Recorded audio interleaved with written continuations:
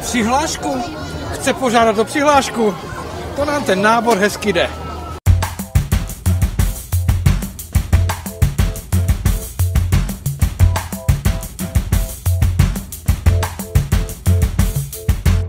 Městská policie Hradec Králové uspořádala pro děti z mateřských a základních škol z Hradce Králové dětský den, který má poděkovat školám, školkám a pedagogům za celoroční spolupráci a zároveň oslavit s dětmi Mezinárodní den dětí.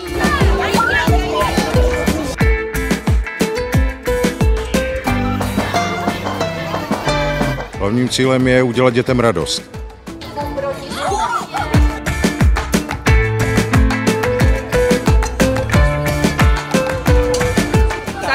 Chtěli poděkovat i armádě České republiky, policii, složkám IZS. Chtěli bychom poděkovat dopravnímu podniku, technickým službám a dalším spolupařádajícím subjektům. Za armádu České republiky je tady dneska zastoupení Krajského vojenského velitelství. Zatáhni pořádně zaber. Podle našich odhadů se akce zúčastní kolem třech tisíc dětí, které se zde střídají v průběhu celého dopoledne.